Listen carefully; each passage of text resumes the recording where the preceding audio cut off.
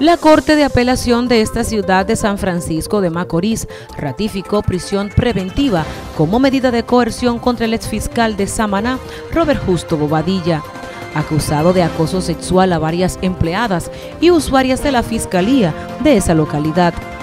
Justo Bobadilla, en el marco de sus declaraciones, consideró abuso de poder su situación. No hay una prueba, no hay una llamada, no hay un video no hay un mensaje, no hay nada. Esto ha sido solamente una trama con la autoridad y con el abuso del poder.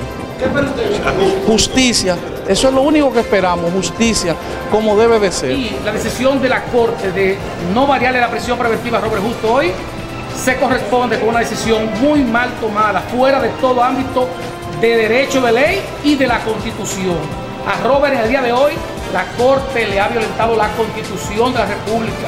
El derecho a la libertad es un derecho sagrado. Y nosotros aportamos 20 mil recursos, 20 mil presupuestos a los fines de justificar la variación de la medida. Cuando usted está rebeldía, a usted lo llevan al tribunal, a usted automáticamente le debe cesar la rebeldía, extinguirse la rebeldía y el arresto queda sin efecto. Mas, sin embargo, la juez de, de Samaná dejó bajo arresto a Robert más de 70 y pico de horas. Y la Corte eso no lo vio aquí hoy. La Corte vio lo que a su entender pudo mirar. Pero no se profundizó a dar una decisión consona con el recurso, con la Constitución y la ley. El ex fiscal deberá continuar cumpliendo prisión preventiva hasta tanto finalicen las investigaciones.